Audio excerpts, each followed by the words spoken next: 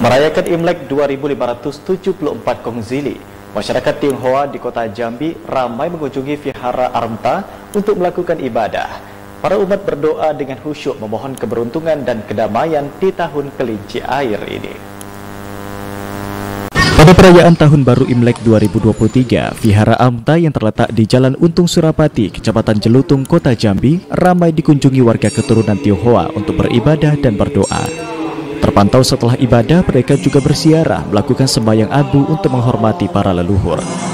Petugas Vihara Armta LC mengatakan, perayaan Tahun Baru Imlek kali ini lebih ramai dari sebelumnya, dikarenakan tidak ada lagi pandemi COVID-19.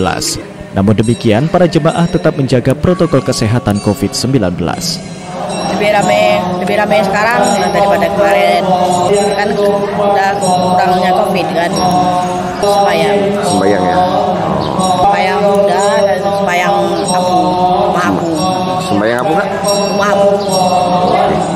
Selain itu, guna mencegah hal yang tidak diinginkan, serta memberi rasa aman dan kenyamanan umat, setiap tempat ibadah dijaga oleh aparat gabungan TNI dan Polri.